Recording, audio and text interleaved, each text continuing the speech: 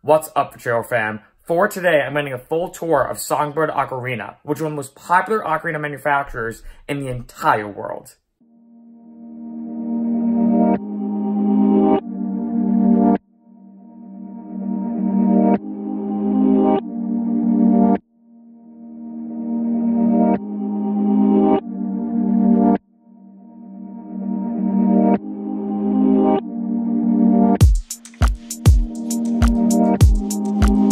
So one of the main elements of ocarina is it's an instrument that follows a breath curve, meaning the higher notes require gradually higher breath pressure and the lower notes require lower breath pressure.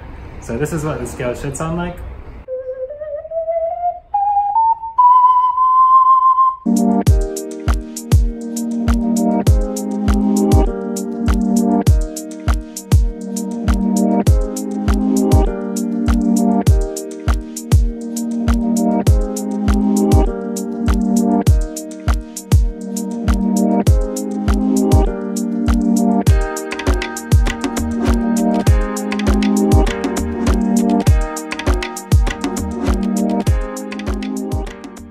So what is like exactly the difference? I know there's probably obviously a bunch of differences, but between like say like a four hole ocarina, a seven hole, a twelve hole, et cetera, et cetera.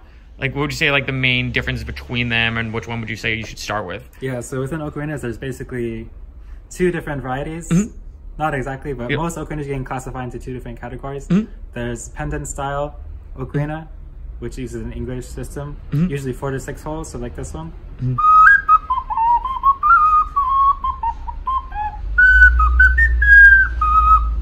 So even the, like the Plastico Carry ocarina, mm-hmm. although it has more of a larger transverse style, it uses the pendant style, four to six. Actually, that one has seven holes, but it uses a cross fingering pattern, which is not completely intuitive. And even like this one as well, this is an ocarina shaped like a mm-hmm. treble, treble clef. This one has four holes.